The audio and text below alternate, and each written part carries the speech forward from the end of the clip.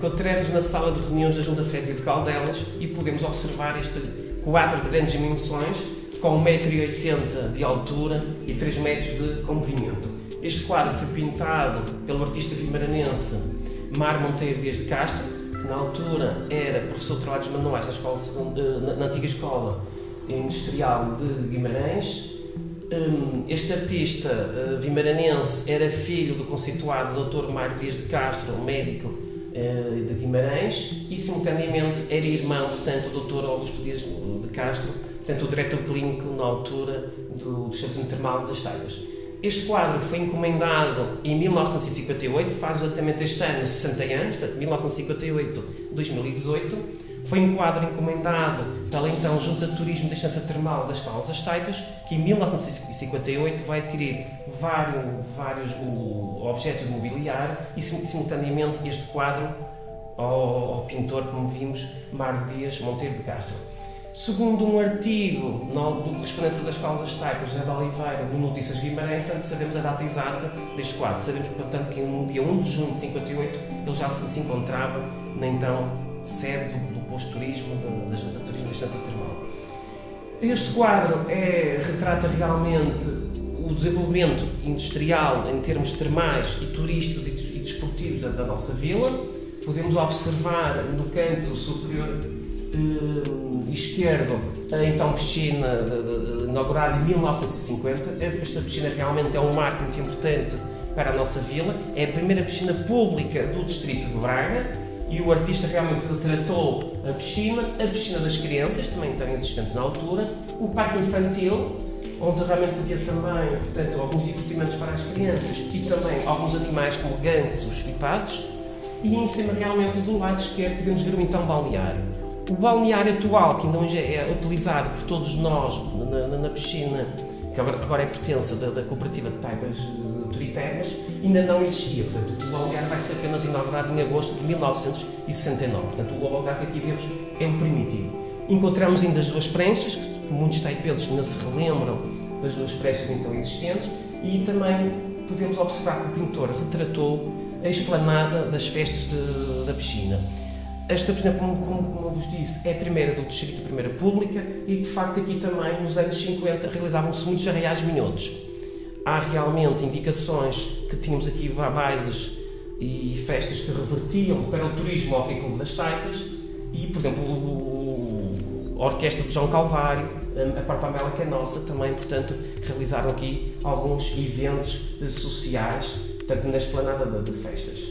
No, aqui no, no, lado direito, o artista vai retratar uma parte muito importante, ainda longe importante da nossa vila, que é os campos de ténis, Portanto, estes campos de tênis são inaugurados em 1948, são os primeiros campos de tênis em terra batida na altura do Conselho de Guimarães. Simultaneamente, no lado direito, encontramos uma grande modalidade que na época teve um grande destaque em Portugal, fomos várias vezes campeões do mundo na altura, que é o hockey patins. O ringue de patinagem é inaugurado em 1938, novamente um equipamento uh, singular no nosso Conselho primeiro, e aqui podemos ver um jogador de hockey do turismo ao Clube das Taipas. Portanto, uma grande equipa que depois iremos, iremos ver noutras edições que iremos realizar, mas realmente uma equipa muito importante do Hockey Clube, cujo equipamento era o verde e o branco. Depois podemos outra vertente muito importante, que ainda hoje existe na nossa vila, que é o Parque de Merendas da Praia Fluvial da, da nossa vila. Podemos também observar um aspecto muito curioso que o artista vai, portanto, retratar, que é a, a, a vertente das merendas do, da praia fluvial da nossa vila. No canto inferior direito, o artista vai também retratar o nosso rio Ave e, claro, a pesca desportiva ligada ao nosso rio e também o aluguer dos barcos. Portanto, na época existiam vários barcos portanto, que os, os e os nossos os turistas que aqui fluíam, em grande número na época, podiam realmente utilizar em termos de aluguer. Outro aspecto muito curioso na época é realmente as barracas que existiam, portanto, eram barracas que poderiam ser alugadas, portanto, para portanto, também mudança de roupa. Outro aspecto que o artista vai retratar aqui na parte central é a Ribeira da Canhota, que atravessa uh, ainda hoje o, o, o, nosso parque, e, claro, o Parque de Campismo. É? Portanto, o Parque de Campismo, que é inaugurado também nos finais dos anos 50, é realmente mais uma valência turística que é também muito singular na nossa vila. Na parte superior encontramos, claro, uma parte também muito importante, que é a área Trajano, considerada Monumento Nacional desde 1910 e também que era um polo de atração de todos aqueles que aqui vinham em tratamento e também que vinham, portanto, usufruir também de momentos de lazer. E claro, o Hotel das Termas, Hotel das Termas, eh, cuja primeira pedra é, é, é lançada em 1915 e que depois, devido aos constrangimentos da Primeira Guerra Mundial, vai se prolongar e ser apenas inaugurado na sua totalidade em 1922. E cujo Hotel das Termas tinha ligação direta ao estabelecimento termal. E aqui temos os banhos, os banhos novos, portanto, inaugurados em 1908, portanto, há 110 anos, comemoramos este ano também os 110 anos de inauguração dos banhos novos e, claro, uma, uma, curiosidade que o artista vai também pintar é a chaminé, portanto, da caldeira, portanto, da Casa das Máquinas, que vamos observar na parte central do telhado.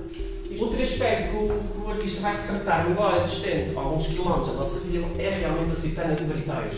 Portanto, podemos ver ali as duas casas circulares reconstruídas pelo Martins Sarmento nos finais do século XIX e, claro, o balneário também da, da Citânia de Bariteiros e a Casa do Conselho. Portanto, resumindo e concluindo, este quadro é, no fundo, um retrato do que era a nossa vila em 1958, a atração turística e a atração termal que ela, portanto, eh, teria sobre as populações de Guimarães e também de todo o norte de Portugal.